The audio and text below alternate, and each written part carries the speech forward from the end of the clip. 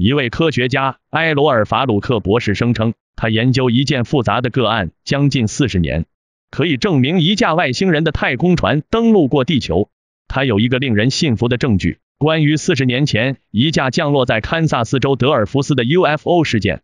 在一次著名的 UFO 目击事件发生之后，埃罗尔·法鲁克博士发表了关于地面上发现的实体研究报告，结论就是外星人在此的活动过，是唯一的解释。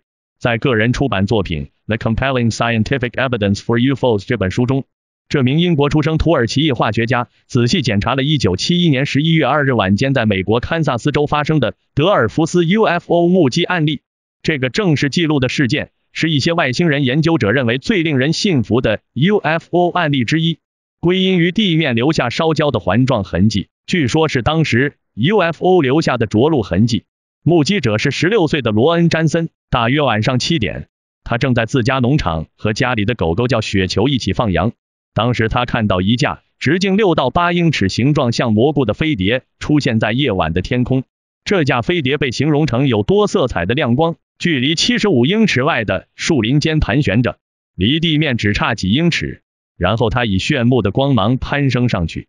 他提醒了他的父母注意，接着飞碟消失在眼前。不过这家人发现地面上留有 UFO 着陆过发光的环圈，在附近的树上也有相似的物质。这家人说这发光的东西感觉很奇怪，像是光滑的外壳，好像土壤已结晶了。詹森太太在触摸它之后，手上留有麻麻的感觉。在目击过后十分钟，詹森一家人把发光环拍照下来，在环内土壤的样本送去分析，并存在许多的实验室里。据说这东西有强烈的防水特性。来自明尼阿波利斯市的另一个目击者 Lester Ansparger 也出面说明，同一个晚上时间七点半，他通知副警长 Leonard Simpson，说他在德尔福斯的天空看见一个亮光在正在上升。根据网站 UFO Casbook 点 com 报道，罗恩·詹森的经验仍然被视作在过去一世纪中其中一件 UFO 地面追踪最好的记录案例，而且仍是传统或者地球上的任何方法都无法解释的现象。法鲁克博士承认，他研究 UFO 现象是终身的兴趣。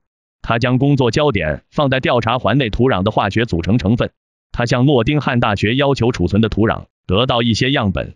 埃罗尔·法鲁克说，这个目前还身份不明的盘旋飞行物，显然已在其周边地区内制造一种不稳定化合物所形成的水溶液。唯一的解释就是光发射的结果。他在书中提到，把水放在受到影响的土壤上面。就好像把它放在玻璃表面一样，水自然形成水滴坐落在表面上。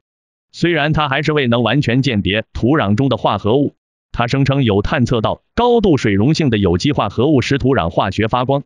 他说这可能是那时传说会发光的原因。法鲁克博士做出三个可能的结论：第一种是一场骗局，这个环圈其实是精灵变出来的；第二种散菌所自然形成的环，或者第三种可能是真的有外星飞船被看到了。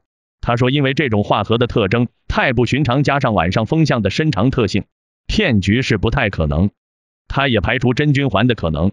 他说，在化合物中发现的水溶性有机羧酸碱金属盐不会是由真菌产生。他提到，这个意味着真的有外星飞船被目击到的解释是最有可能的。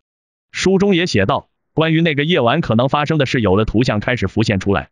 这个目前还身份不明的盘旋飞行物。显然已在其周边地区内制造一种不稳定化合物所形成的水溶液，而有可能唯一作用来源就是光发射的结果。当物体在树林间定位时，可能想避免在空中被看到，因此有一些溶液沉积到地面。詹森一家人靠近环圈区时，已有足够的溶积物被存入地面，然后物体就飞离了。这本著作是法鲁克博士基于大量科学研究论文而写成。这些论文原本为了在很多科学期刊中发表，然而却被退回了。法鲁克博士声称，虽然他的报告需要物理和化学的证据的处理，他却被告知这项调查是不适合的题材。谢谢观看地球旅客频道，喜欢的朋友请订阅与点赞，还有点击小铃铛，谢谢你们的支持。